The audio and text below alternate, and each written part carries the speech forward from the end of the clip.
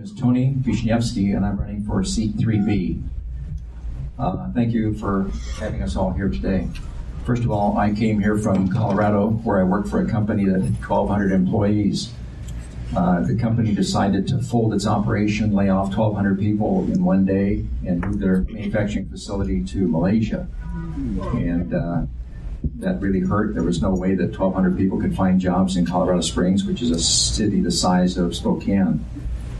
Thanks to Donald Trump, though, some of the unfair trade agreements that we have entered into in the past have now been overturned or are in the process of being overturned and it's going to provide us with a much more level playing field to get our manufacturing jobs back.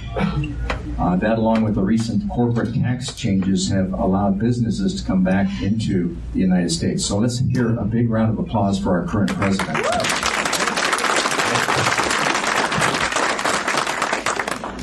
Uh, first of all, I'd like to talk about some of my principles. My very first principle is to support the primary government function of protecting its citizens, and that includes the unborn. I feel very strongly on this. I have 16 grandchildren.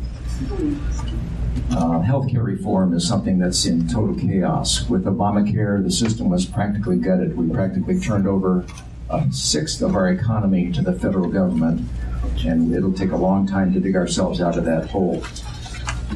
Um, the state of Washington just passed its 58th mandate requirement to be included in a uh, insurance policy in order to be legal to sell in that state. This is just madness.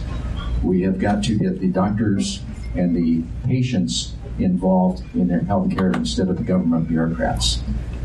I will support education choice to allow families to be able to afford to send their children to alternate schools including homeschooling. It's a big sacrifice for them currently.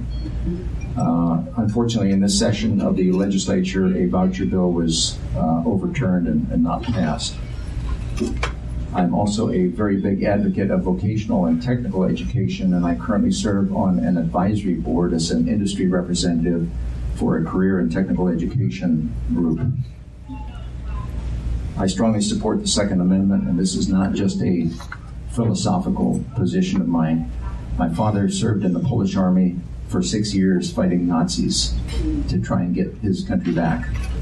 Uh, unfortunately, he was unable to return to his homeland of Poland uh, because of the uh, Germans having disarmed Poland and the communists took over.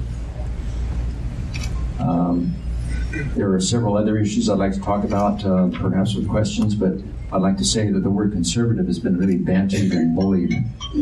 Um, I am not a conservative, I'm a radical. I want to return some of the freedoms that we have lost that uh, our previous generations have enjoyed. Thank you, and I want to earn your support.